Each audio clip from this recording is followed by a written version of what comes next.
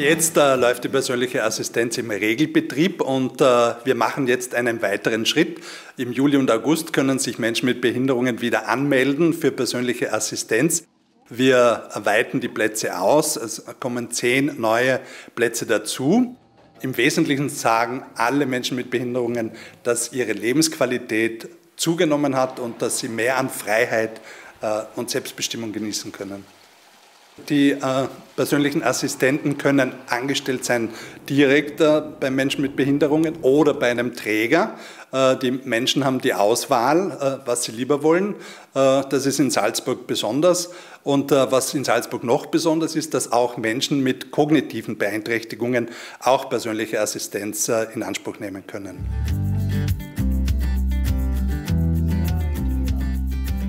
Also man braucht keine besondere Ausbildung, man bekommt natürlich eine Einschulung, äh, da kann man sich bewerben bei den Trägern, die das machen äh, oder auch bei uns äh, in der Sozialabteilung des Landes.